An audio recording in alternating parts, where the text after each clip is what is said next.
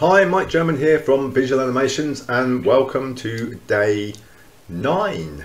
Now, I've had a look at this one for today and I am absolutely certain this one can be done in four minutes. Okay, some of them are a little bit more complicated, there's more to learn, there's more steps. This one is super easy and I would almost go as far as to say I'll put money on it that I can do it in four minutes. Shall we see?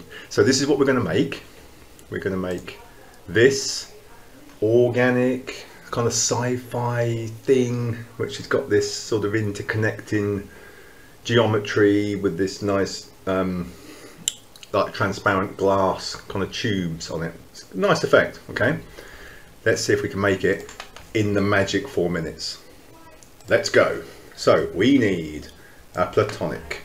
We then need a random effector. We put the random effector as a child of the platonic. We go to deformer here and click on point.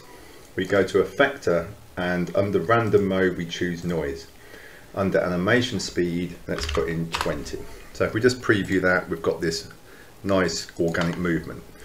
Right, we now need to add a cylinder. Let's drag that out. Let's put that in at 3 by 100 and now let's grab a bulge uh, deformer and we'll put that as a child of the cylinder. Click on bulge and click to fit to parent.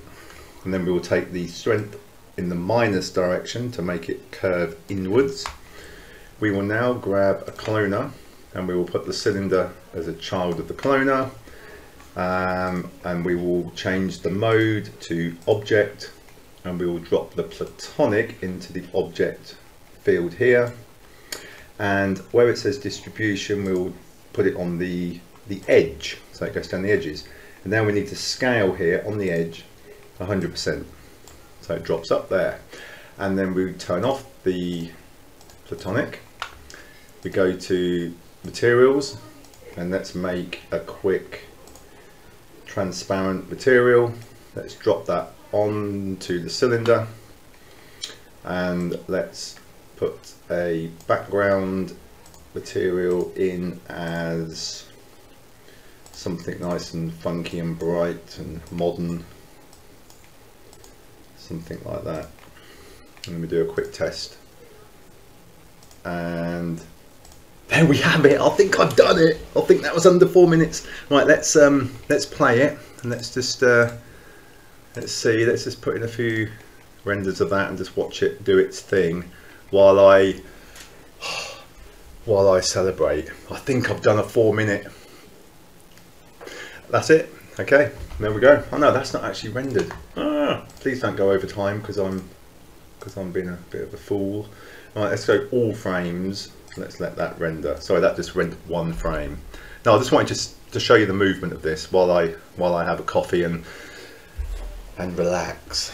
So there we go. Some of them some of them are four minutes some of them you can do in a couple of minutes. Some things I try and show you will take 10 20 minutes. But I love I, love all the effects in here and there's so many different ones and I want to bring all of them to you over these 31 days. So that's why.